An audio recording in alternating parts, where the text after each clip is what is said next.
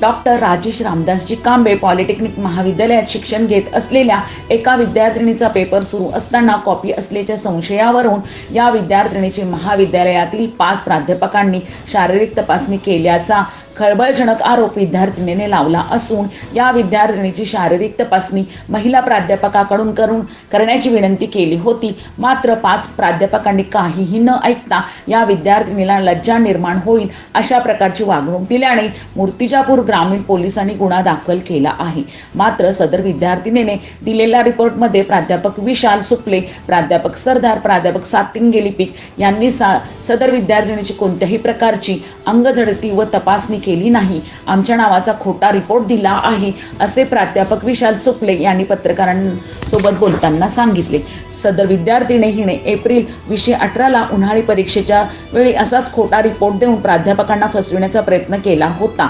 सदर विद्यार्थिनीला कॉलेज बदनाम करण्याचे षडयंत्र रचत असल्याचे कांबे पॉलिटेक्निक कॉलेजच्या पाच प्राध्यापकांनी पत्रकार परिषद घेऊन सांगितले असून याबाबत मूर्तिजापूर ग्रामीण पोलीस तपास करीत आहेत.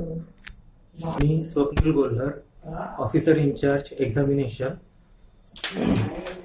ज्यावेळेस या सदर मुलीची उज्ज्वला सहारे या मुलीचं कॉपी केस पकडण्यात आली त्याच्या जस्ट आधी थोड्या वेळ आधी कंट्रोलर सरांनी एका मुलाची कॉपी केस पकडली होती.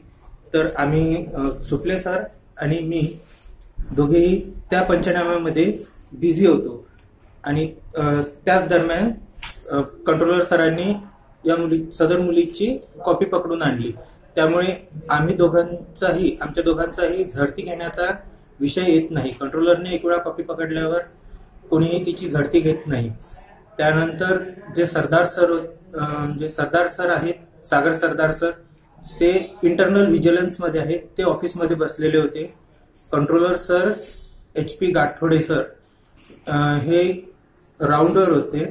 क्लास क्लासरूममध्ये. आणि विजय सातिंगे सर हे लिपिक आहेत. त्यामुळे ते ऑफिसमध्ये बसलेले होते. त्यांचा या विषयाशी काही संबंध नाही.